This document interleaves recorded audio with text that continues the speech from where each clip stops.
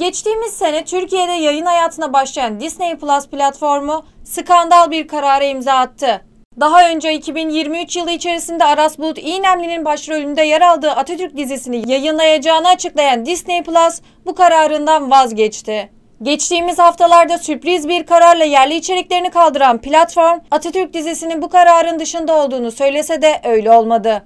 Disney Plus, seyircinin merakla beklediği Atatürk dizisini yayınlamama kararı aldı. Dizinin önce Fox TV ekranlarında ardından sinema salonlarında izleyicisiyle buluşacağı belirtilirken iptal kararının Ermeni lobisinin baskılarıyla alındığı öne sürüldü. Radyo ve Televizyon Üst Kurulu Başkanı Ebu Bekir Şahin, Atatürk isimli dizinin yayından kaldırılmasının ardından Disney Plus platformu için inceleme başlatılmasına karar verildiğini açıkladı.